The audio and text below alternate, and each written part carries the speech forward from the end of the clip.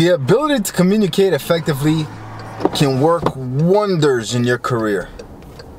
The best way to further develop your communication skills is by attending civilian education, college. If you have gone to college already, maybe this video is not for you. If you're an NCO and you haven't really taken any college classes, I strongly, strongly, strongly recommend you consider the possibilities. And you may think like, oh, I don't have the time. I have work, I have a family, all this other stuff. Yeah, I've heard it all, man. I've heard it all. I understand that folks with multiple kids may have a unique situation. Every other excuse, I've been there, I've done that, got the t-shirt. My wife and I uh, graduated uh, college the same year. After eight years of marriage, working professionals, career field that we've been working at for years. I started my career before I even got married. She started hers maybe a year or two before uh, we got married.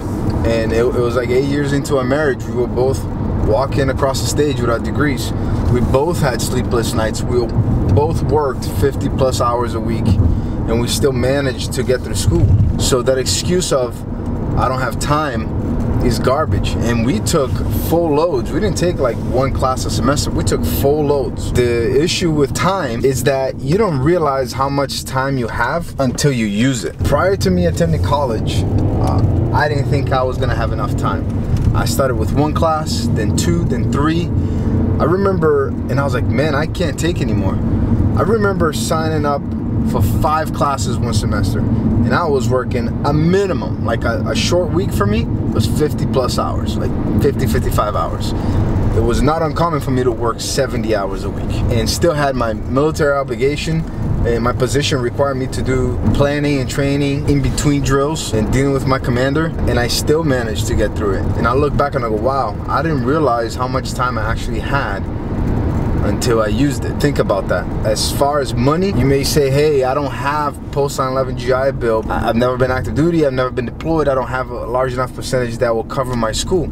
You know, look at what programs your states have to offer. A lot of states, they, for any military, current military member, they waive your tuition completely and that's independent of your GI Bill. Look into that. You, you, don't know what you have until you look for it. And in other states may have tuition assistance award program like a scholarship that is non-competitive. Uh, like I used one that the only requirement was that I was a current member of the National Guard and that I filled out a piece of paper and sent it to them uh, every year. Uh, with the commander signature saying, hey, I'm a member of the National Guard in good standing, right? You gotta make sure that you're not flagged or anything funky like that. Finishing my last two years and save my GI Bill for my graduate degree that I'll be hopefully starting out soon.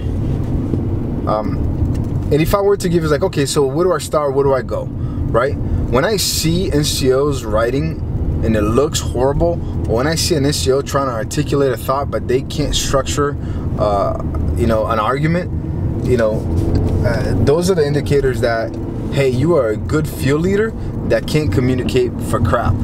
So you need to take some communication classes, some critical thinking classes, classes that will help you develop a thought and articulate your main point, right?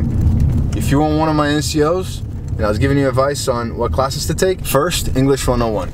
Even if you graduated high school, even if you graduated high school recently and you're junior enlisted, take English 101 just take it because it'll give you the rules that it's the basis of all communication. The second class I recommend taking would be creative writing class.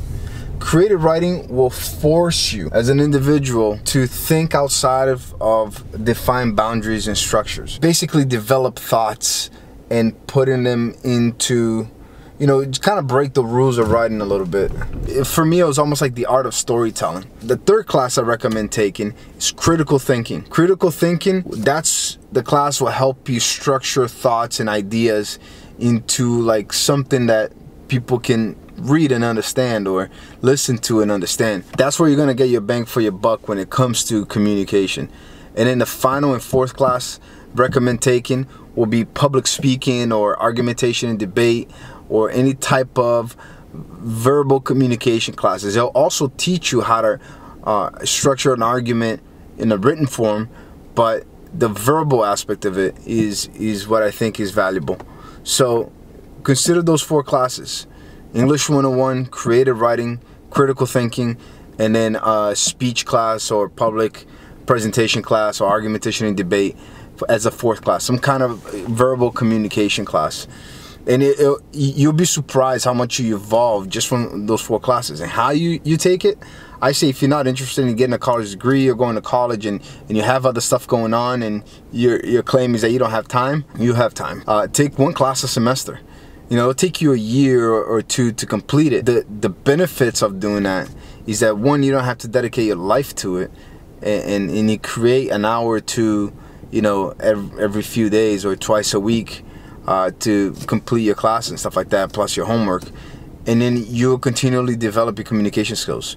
Those great leaders, if, if you look historically, great leaders are able to articulate their ideas, whether it be in the business world or military world. You know, there, there aren't many great leaders that aren't awesome communicators. I mean, the great leaders that that a majority of the public can latch onto their ideas and bring the ideas forward. Guys, thank you very much for driving with me. Make sure you check me out on the next drive time and don't forget to check out my other videos. Peace.